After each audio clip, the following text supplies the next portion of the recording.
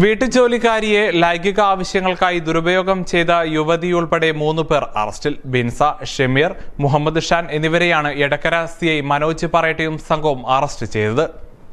വീട്ടുജോലിക്കാരിയെ ലൈംഗികാവശ്യങ്ങൾക്കായി ദുരുപയോഗം ചെയ്ത യുവതി ഉൾപ്പെടെ മൂന്ന് പേർ അറസ്റ്റിൽ. എടക്കര തമ്പുരാൻകുന്ന് സരോവരം ബിൻസ എടക്കര കാക്കപ്പരത എരഞ്ഞിക്കൽ ഷമീർ ചുള്ളിയോട് പറമ്പിൽ മുഹമ്മദ് ഷാൻ എന്നിവരെയാണ് എടക്കര പോലീസ് ഇൻസ്പെക്ടർ മനോജ് പറയറ്റിയും സംഘവും അറസ്റ്റ് ചെയ്തത്. മൂന്ന് വയസ്സുള്ള കുട്ടിയെ പരിചരിക്കാൻ കഴിഞ്ഞ ജനുവരി ഇരുപതിനാണ് യുവതി എത്തിയത്. പ്രതിമാസം എണ്ണായിരം രൂപ ശമ്പളം നൽകാമെന്ന വ്യവസ്ഥയിലായിരുന്നു ജോലി. എന്നാൽ ബിൻസ വീട്ടിൽ നിന്നും പുറത്തു പോകുമ്പോൾ വാതിൽ പുറമേ നിന്ന് പൂട്ടുകയായിരുന്നു പതിവ്.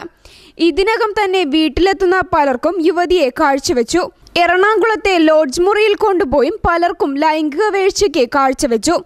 സഹോദരന്റെ കുട്ടിയുടെ ജന്മദിനം പ്രമാണിച്ച് വീട്ടിലെത്തിയപ്പോഴാണ് യുവതി പീഡനത്തിനിരയായ വിവരം അറിയിച്ചതും തുടർന്ന് പോലീസിൽ പരാതി നൽകിയതും. പ്രതികളെ കോടതിയിൽ ഹാജരാക്കി.